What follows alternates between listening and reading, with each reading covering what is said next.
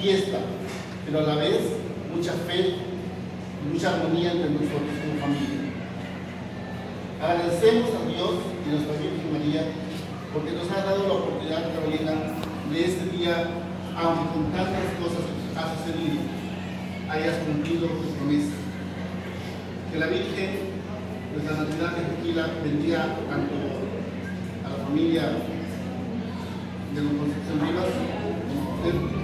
Y a toda esta gente que nos acompaña. ¡Viva la Virgen Natividad de Tequila! ¡Viva! la Virgen Natividad de Tequila!